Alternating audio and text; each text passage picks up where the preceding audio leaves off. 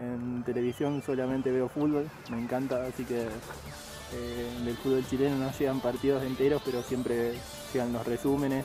Sé que es uno de los clubes más importantes, ya lo conocía desde antes, eh, sé, sé la historia que tiene y me interioricé un poco más a- al llegar.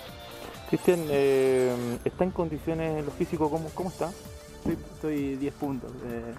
Yo venía entrenando con Estudiante de La Plata, eh, terminó el torneo la semana pasada y eh, me mantuve entrenando porque sabía que estaba, la posibilidad, aunque los demás fueron de vacaciones.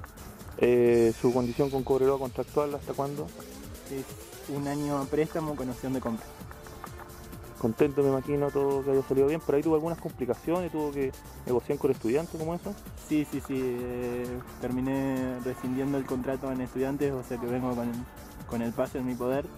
Eh, bueno, a través de una deuda que, que tenía el club conmigo, se- pude sacar el pase libre. Eh, ¿Qué le puedo decir a la hinchada de Cobreloa? Es muy exigente. Sí, sí, ya lo sé. eh, por la historia del club no, no cabe otra que, que sea así la hinchada. Eh, es un lindo desafío para mí. Lo único que le puedo decir es que más allá de, de si ando bien o mal con la pelota, que voy a dejar todo dentro de la cancha.